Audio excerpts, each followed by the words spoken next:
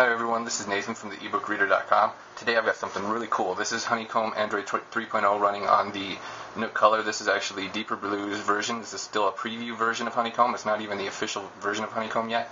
So what's really cool about this is it's ridiculously easy to set up on your Nook Color. You don't have to have any hacks or, note, or roots or anything complicated like that. All you have to do is burn an image onto a micro SD card and then insert that uh, micro SD card and then boom, you've got Android Honeycomb running.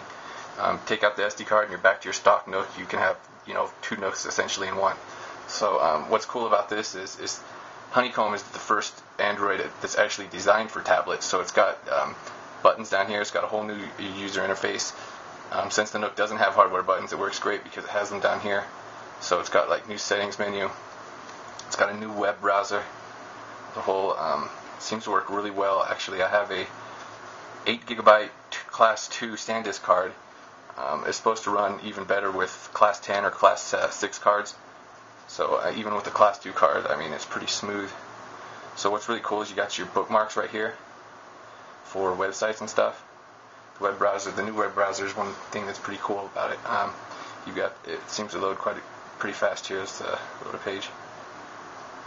Just one thing.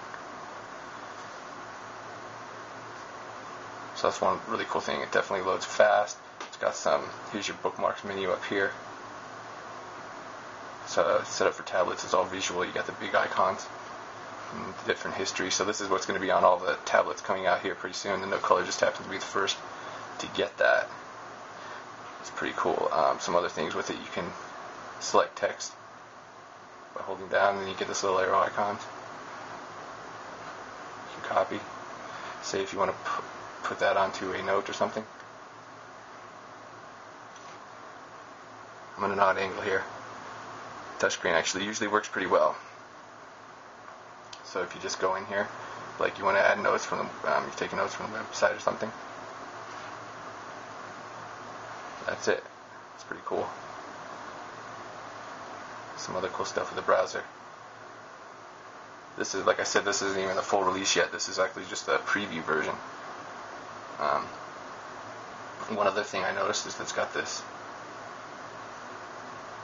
other type of setting here in labs. Quick controls. This reminds me of the Notion Adam right here. So it gets rid of your navigation on top, and it brings it up over here when you do this. Get your forward and back, your bookmarks, menu. So that's pretty cool. Set up right there. You can move between tabs, obviously. Let me get the keyboard out of there. That's not some of the new things with the um, new web browser. I'm actually liking it a lot so far. Um, so like I said, you can uh, there's a lot of things you can set on here with widgets. You just hold down, you get the different menus for the, the it's, since it's for tablets, it's a lot uh, more visually set up for larger icons for widgets. Um, you can just take them and then drag them wherever, whichever screen of your home screens you want it to go onto. Also add app shortcuts, of course, and different wallpapers. And you can also add shortcuts for, you know, directly for ebooks or files from your SD card and stuff. What else is really cool? See this icon right here? It brings up your recently, where you've recently been. It's like the um, history thing for just quickly searching between apps, and it leaves your app wherever the date was when you left it, so you can quickly go between apps wherever you are. So it's got Android Market on here. This actually took a little bit more work to set up, a couple extra steps with ADB to install it.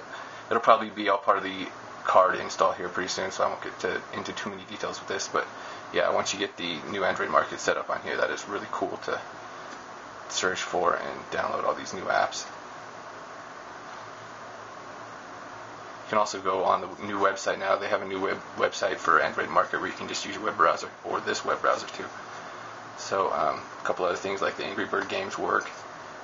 Uh, Google Maps, the regular version didn't work. It's available in the Android Market, but this version was at Android Freeware. It's version 5.0. It seems to work quite a bit better. It's got pinch to zoom.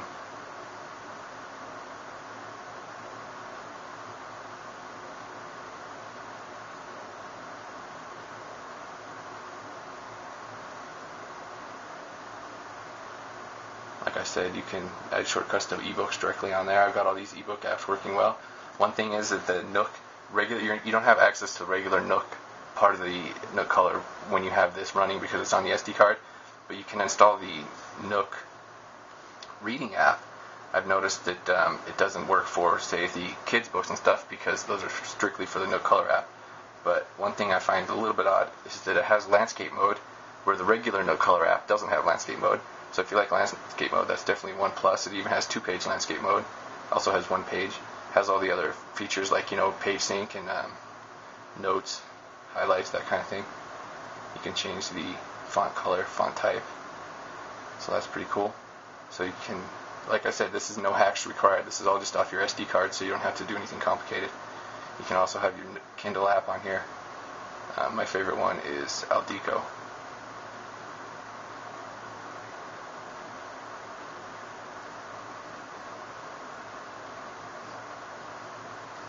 Aldiko is my favorite one. You can read DRM pubs on it now. You can use your RSS readers. So that's some of the stuff that you can do with this new Nook color. With the honeycomb SD card, it's really, really cool. It's really easy to set up. I got the directions on my website. Um, the link is below the video on YouTube. So if you want to learn how to do this to your Nook, just um, check it out. Um, thanks for watching the video.